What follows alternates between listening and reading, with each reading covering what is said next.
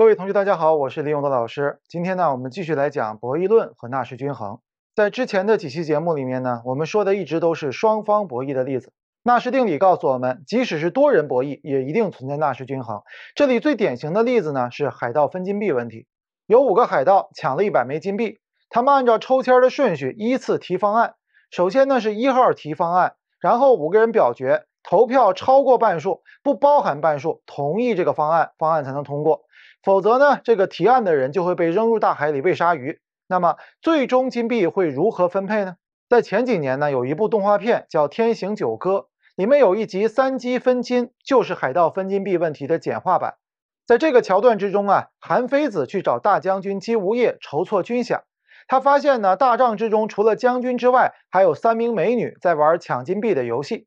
韩非子对三名美女说：“咱们不妨玩的更有趣一些吧。规则是。”抽签决定三个人的顺序，按照顺序进行分金币的提议。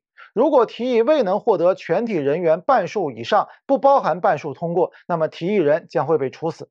在这个游戏规则下，抽到第一名提议的美女非常恐慌，因为她觉得后面两个人为了拿更多的金币，必然会否定自己的提议，然后杀死自己。但是结果真的是这样吗？为了使用博弈论来分析这个问题，首先我们必须做出几点假设：第一，美女都是聪明的。她知道自己的决策会导致什么样的结果。第二，美女都是理性的，以自己的利益最大化为目标。第三，美女都是邪恶的，在利益最大化的前提下，尽量多杀人。在这样的假定下，我们就可以讨论这个问题了。假设抽签之后，按照顺序，三个美女呢分别是 A、B、C。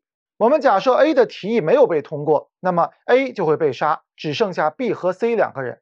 此时啊，无论 B 提出什么建议，C 都可以反对。这样呢，提案就没有获得半数以上的人支持，B 将会被杀死。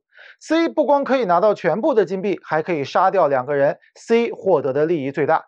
美女 B 知道以上的结果，所以 B 的策略是绝对不能让 A 死掉，转而会支持 A 的一切建议。美女 A 当然会预判出 B 的预判，有了 B 的支持，再加上 A 自己，A 的任何提议都会通过。所以啊，美女 A 可以肆无忌惮地提出方案，自己拿一百枚金币，而 B 和 C 什么都没有。虽然看起来这个分配方案对 B 很不友好，但是 B 为了活命，还是会支持 A。此时 C 反对已经没有任何意义了。最终 A 拿到了全部的金币，而 B 和 C 什么都拿不到。我们不妨设想，如果四个人玩这个游戏，结果又是如何呢？如果大将军姬无业也要玩这个游戏？并且将军第一个提议，他会预判出三个美女的预判。他知道，如果自己的提议未被通过，那么美女 A 就会分走全部的金币，而美女 B 和 C 什么都拿不到。他还知道，要想让自己的提案通过，除了自己之外，还需要拉拢两个人。显然呢，拉拢 B 和 C 更好，因为如果自己死掉了，B 和 C 什么都拿不到。所以，只要自己提议给 B 和 C 每人一枚金币，B 和 C 就一定会支持自己。所以呢，大将军的提议会是自己拿九十八枚金币，美女 B 和美女 C 各拿一枚，而美女 A 呢什么都没有。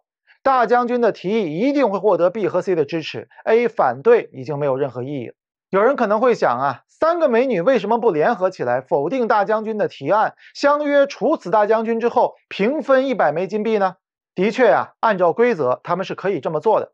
但是大将军的提案被否定之后，大将军被处死了，就轮到美女 A 提案了。这时就面临一个问题：美女 A 会不会反悔呢？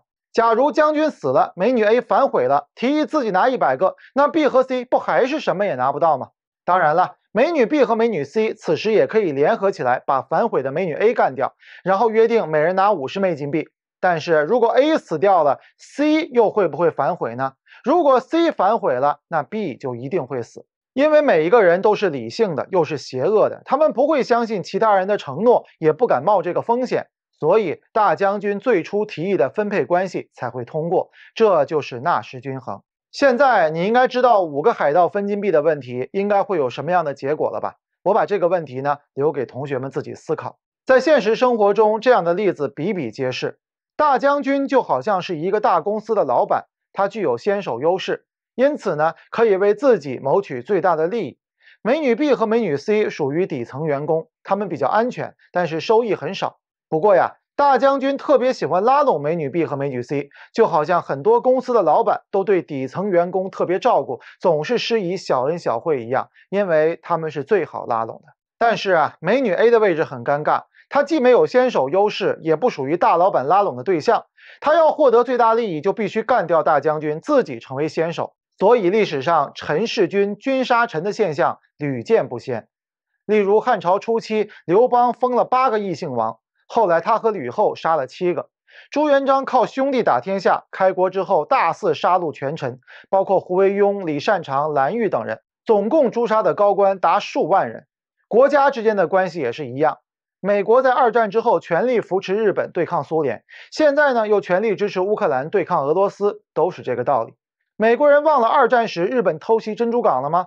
北约忘了华沙公约组织给自己造成的阴影了吗？其实这些都不重要。国际关系本质上不过是利益博弈而已。